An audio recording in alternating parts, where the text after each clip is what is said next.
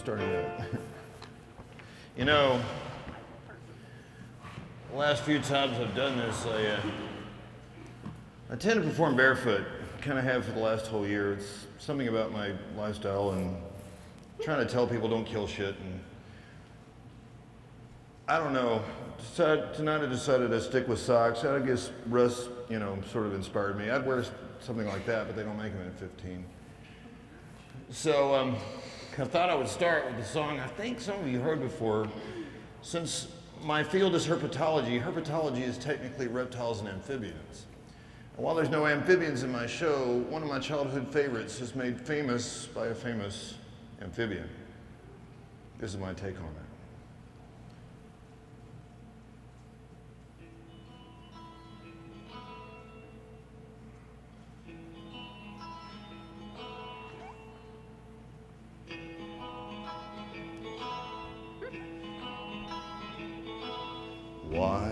Why are there so many folks who hate reptiles?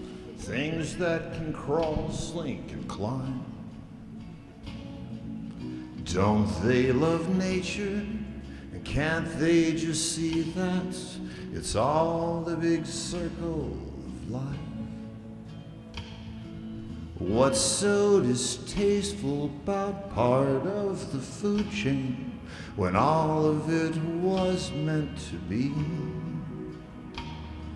So one day they'll find it, the reptile connection, the crawlers, the squeezers, and me.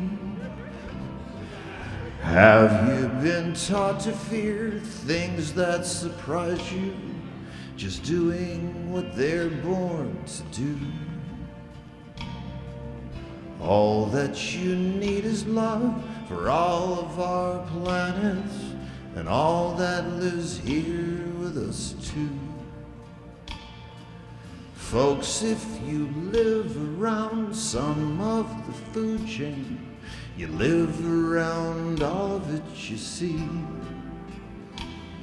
So one day they'll find it, the reptile connection, the crawlers, the squeezers, and me. La da da dee da dee da da da da da.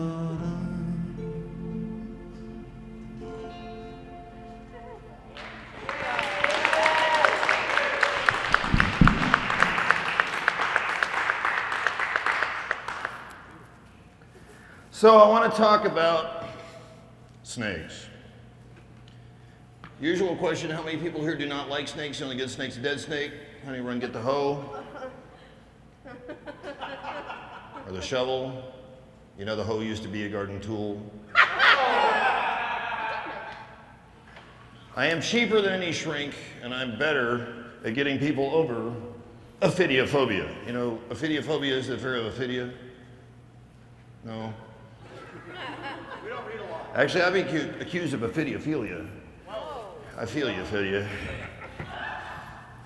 Now, I'm going to start at the upper end of this this time because the other animals are going to be ones that are mistaken for this.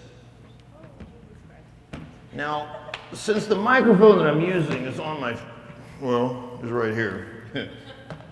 See how close I can get to where you can hear this particular sound effect. Oh, there it goes. We do hear it? Oh, yeah. Speculations? Yeah, that are a really good sound effect, right? He's actually from Venezuela. His name is Jesus. But most people, when they see him, pronounce it the other way. From Venezuela, the Venezuelan rattlesnake. Yes, that is the real thing. You do know what he means when he rattles his tail, right? Fuck off, back off. It means you're too big to eat, back off. To him, everything too big to eat is big enough to be eaten by. Everything in the wild eats snakes. Dogs, cats, bears, birds of prey, possums, armadillos, people. They taste like chicken. So he's saying, back off, you're too big to eat. Usually, in my case, I think he really just hates my breath. You know, it's funny. Everybody thinks that uh, this animal is after you. This is actually a very, very gentle, uh, rattlesnakes in general, they're very, very gentle animals. That's what the rattle is for. It means back you off. In his world, it's a simple matter of saying, look, I'm here. Because the venom is really not meant for you. Now, that doesn't mean that you can't get in trouble. I mean, generally speaking, it's when somebody doesn't see what they're doing. Well, you know, I've already told you this, right? Eight out of 10 people were bitten by venomous snakes were trying to kill the snake at the time. And the other two were white males with an alcohol problem. so, does everybody see him? Yeah. Good, let's hear it for Jesus.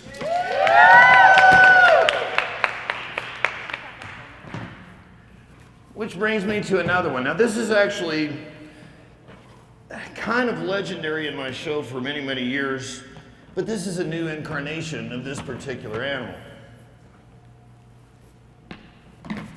The people that had rescued him did not even know what he was. I said, Oh, you don't understand. This is what's called a Central American boa. Now, you know what? Everybody assumes that uh, boas are all boa constrictors. This is a constrictor, but he's not a boa constrictor, at least not in the same sense. Let me show you what I mean about this particular guy. Once he can find me. Come over here. Look, he's hiding. There we go. Can you see me? I'm over here. Are you distracted? Mm-hmm.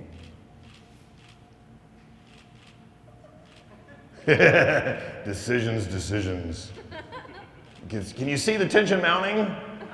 Can you actually see it? It helps to know how far he can reach. His name is Mr. Happy. He used to have another name, but it's a family show.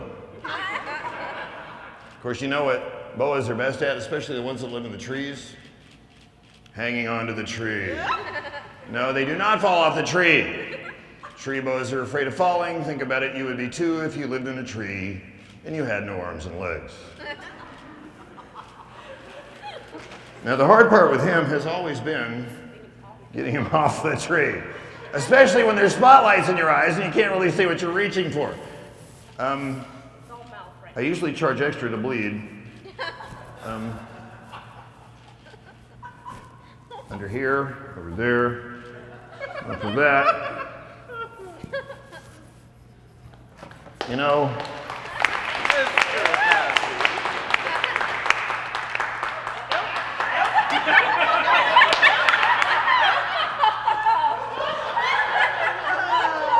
we're having a reptile dysfunction. Down, boy. Um, excuse me. Uh huh. Uh huh. And that's Mr. Happy.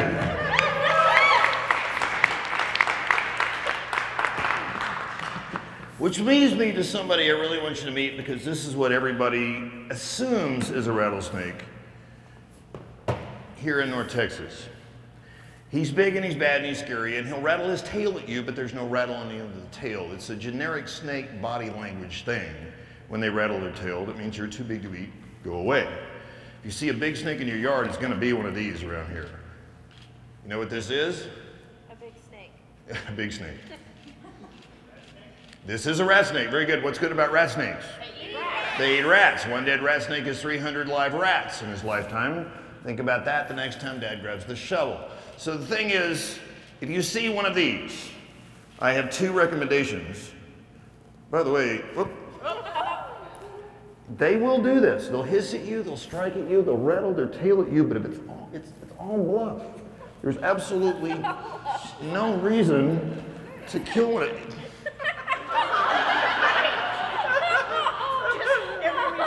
Is this starting to remind you of a medical symbol? If you see a big snake in your yard, it's going to be one of these, okay? Around here, it really is. Now, my counterpart in, in Austin, he'd get called out on a rat snake bite or a rat snake call, and it would be a rattlesnake instead. Everybody thinks these are rattlesnakes when they see them around here. So if you see one, I want you to do two things. I want you to leave him alone, and I want you to name him George. It's far harder to kill a snake once his name is George.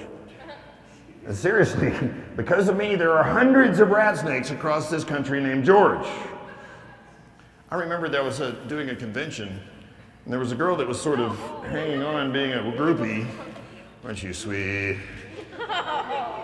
And anytime somebody would ask me what one of the snake's names was, I mean, that's kind of my multi-purpose name, so I said, oh, that's George. By the end of the day, she was like, how many snakes do you have named George? I'm like, yeah, well, it's a George Foreman thing, I guess. now, he's actually even harder to get back in the box. Watch. You got to get the tail in the box before the head comes out. and it is not as easy as it was. Now, you guys down front are probably beginning to um, pick up an aroma.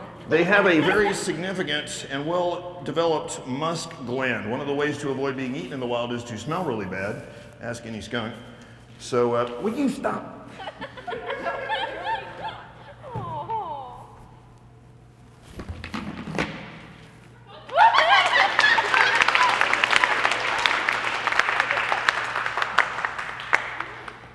Which brings me to one last thing. Some of you have sometimes seen me do magic up here.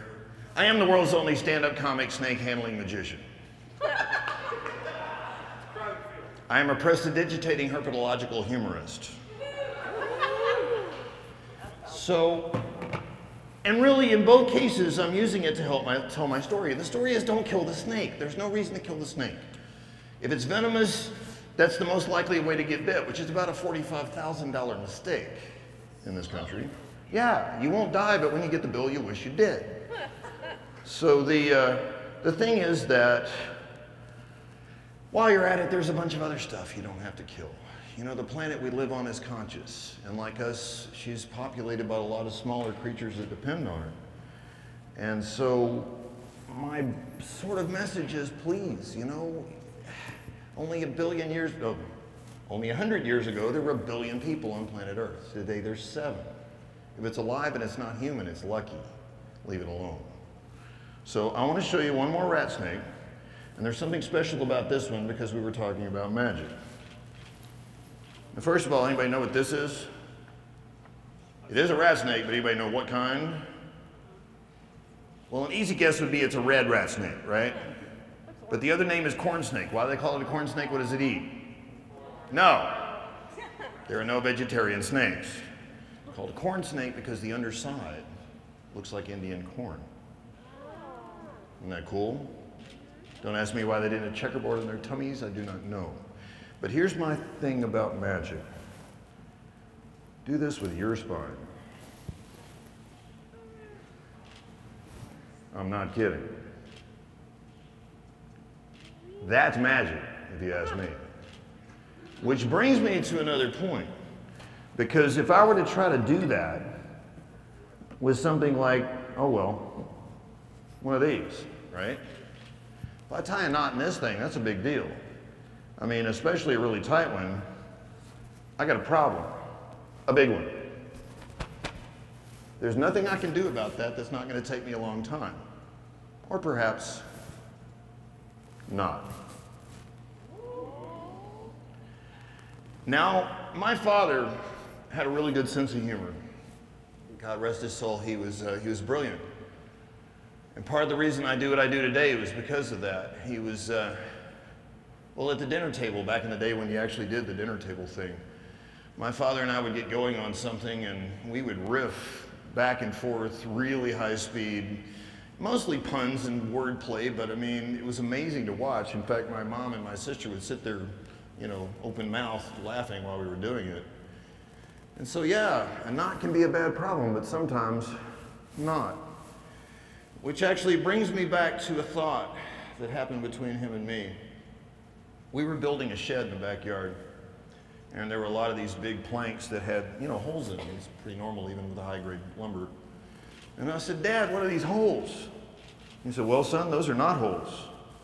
I said, Dad, if they're not holes, what are they? And when he was done laughing, he kind of winked at me. He said, well done. And it was the best attaboy I ever got. Thanks, you guys.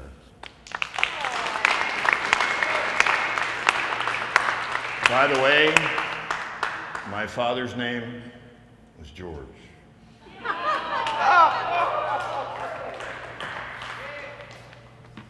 Daryl Sprout, everyone.